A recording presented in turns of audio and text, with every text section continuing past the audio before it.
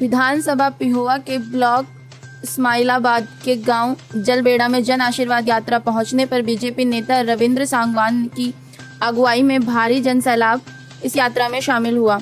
लोगों में उत्साह देखते ही बनता था। लोगों ने पूरे उत्साह के साथ माननीय मुख्यमंत्री मनोहर लाल जी का स्वागत किया।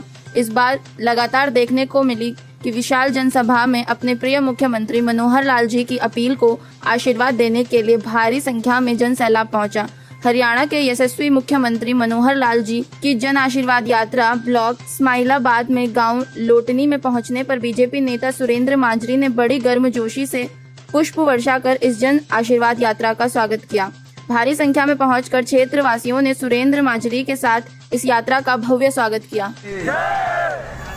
वासियों आपने इतनी बड़ी संख्या में इस जन आशीर्वाद यात्रा को स्वागत किया, इसका अभिनंदन किया, अपना आशीर्वाद दिया।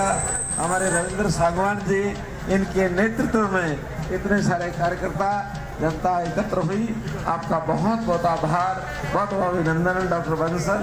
आपका बहुत बहुत अभिनंदन बहुत बहुत धन्यवाद।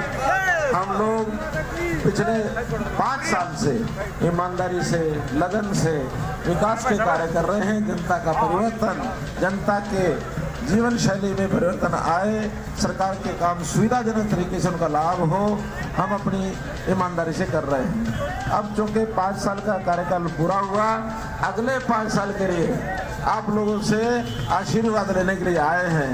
हमारे काम से सहमत हों तो आप हमें निश्चित रूप से अगले पाँच साल के लिए फिर से आशीर्वाद दें ताकि हम आपकी ज़्यादा सेवा कर सकें। जो सहमत हों जोरदार भारत माता की